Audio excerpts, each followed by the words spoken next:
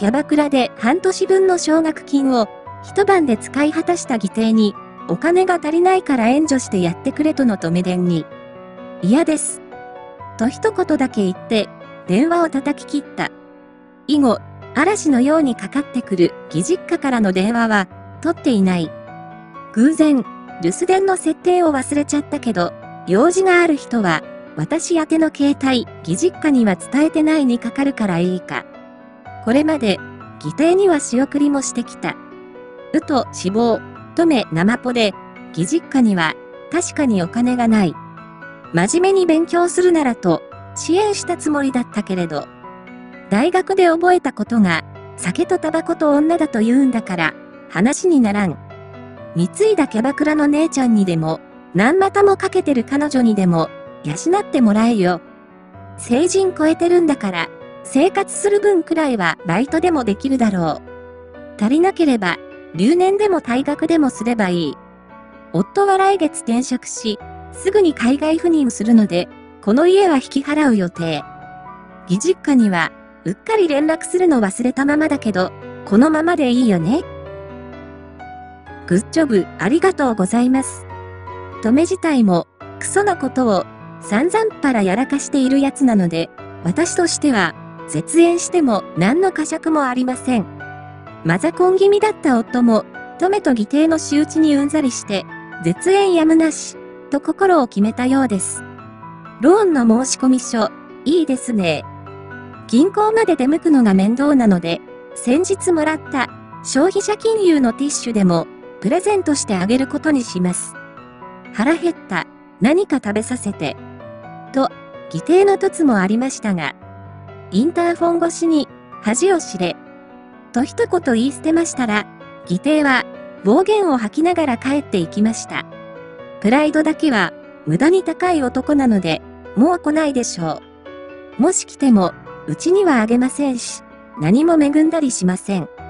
トメは、飛行機で1時間余りかかる場所に住んでいるので、凸はできないでしょう。ぼったくりだったら、まだ同情もできるのですが、有り金使って、その場の客におごり、お店で一番高いお酒を開けて、振る舞ったのだとか。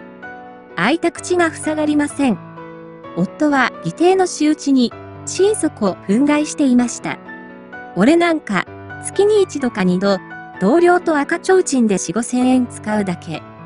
それでも浪費が多いからと、飲む回数を減らして貯金してるのに、国費をお借りしてる身分で、数十万を一晩で使うとは何事か。あまりの情けなさに、男泣きしていました。あの馬鹿は、ここで目を覚まさないと、人間としてダメになる。と、夫は、心を鬼にすることにしたようです。だから、もし職場に突して暴れても、援助しないと思います。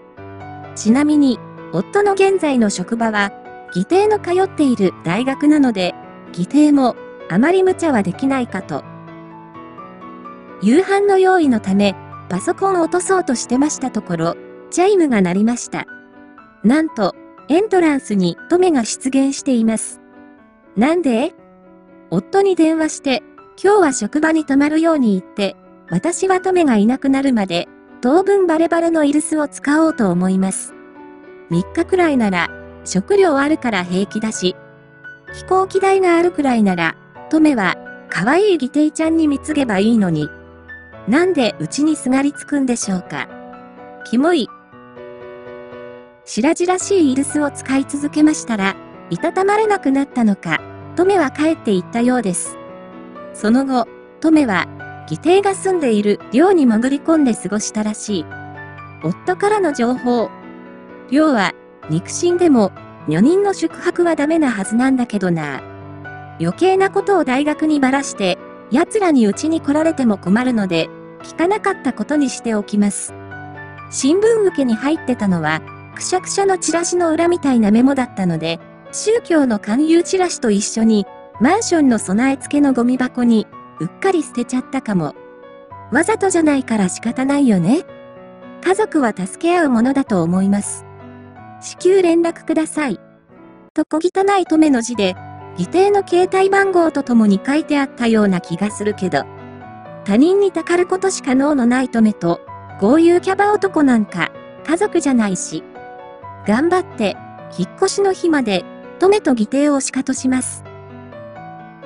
夫が、母とキャバ弟、私から見れば、トメとコートに呼び出されて、ファミレスで話し合いをしてきました。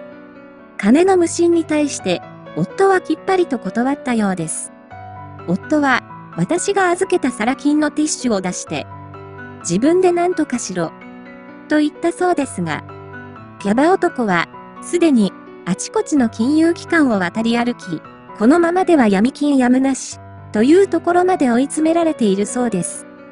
この状態で、借金返済もせず、キャバクラで合流できるとは、義弟は確実に頭湧いてます。簡単な計算もできない彼は、最高学府で勉強してる意味がありません。勉強ができても、バカはバカなんだなぁと痛感しました。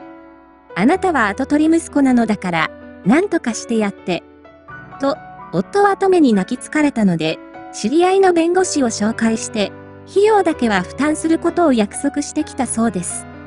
夫は生活費にも事欠くので、少しだけ援助してと泣かれても、1円の金も渡してないそうです。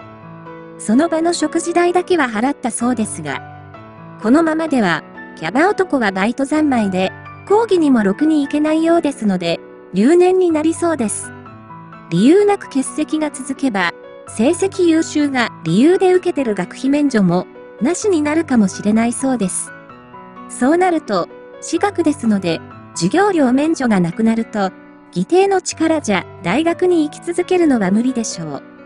キャバ男は将来教員を目指していますが、こんな人間が教壇に立たないでほしいので、彼が退学するのが社会のためのように思えてなりません。少なくとも、教壇に立つなら、サイマー根性を直してからにしてほしいです。とめから、嫁として息子を説得してほしい。とコールが来そうな予感はしますが、その頃は、もう引っ越し完了していることでしょう。不妊の日までは、県外脱出して、私の実家に身を寄せることにします。